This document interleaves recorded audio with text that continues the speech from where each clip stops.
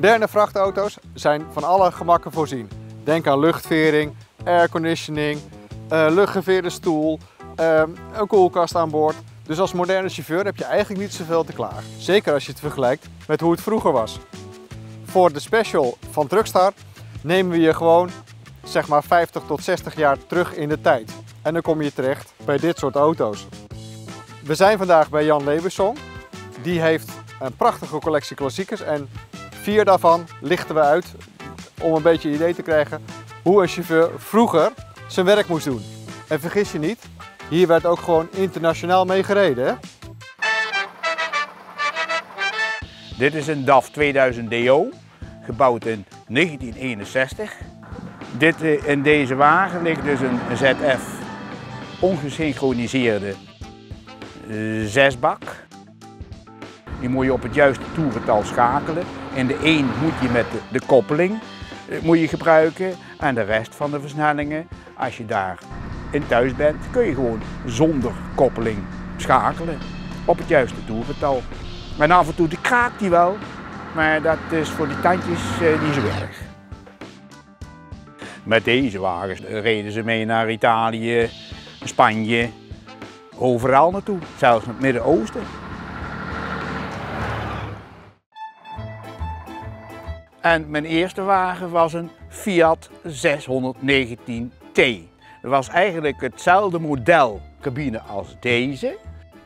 En dit is dus een auto met 190 pk en een ongesynchroniseerde achtbak met twee poken. Dan moet je dus ook eh, even goed in de gaten houden hoe dat je schakelt in ieder geval. Dit is dus een typische uh, Italiaanse uitvoering met de, de, de voorloopas. Die, die zag je hier in Nederland ook wel regelmatig bij bepaalde vervoerders. Maar dit is dus een auto met een configuratie die toen de tijd heel veel in Nederland reden.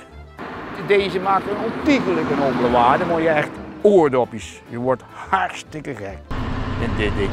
Het is, eh, comfortabel is het helemaal niet. Dit is dus een LBS 76. De LBS staat voor drieasser. Je had ook de LB en dat is dan de tweeasser.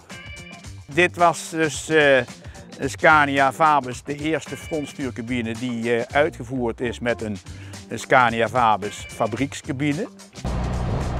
Hier ligt dus een, Scania uh, 10 liter motor in met, met 225 pk en dit is dus ook een motor die dus uitgevoerd is met een turbo.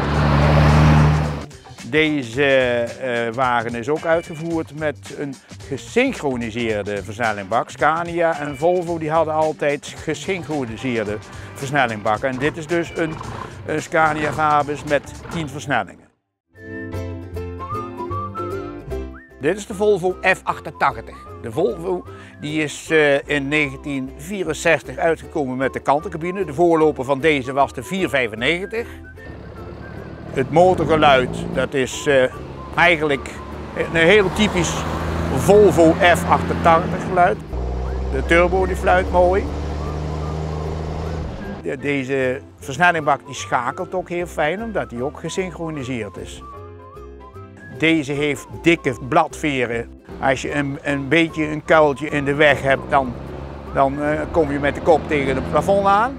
Comfort dat was er dus bijna niet. Deze is dan uitgevoerd met 160 pk.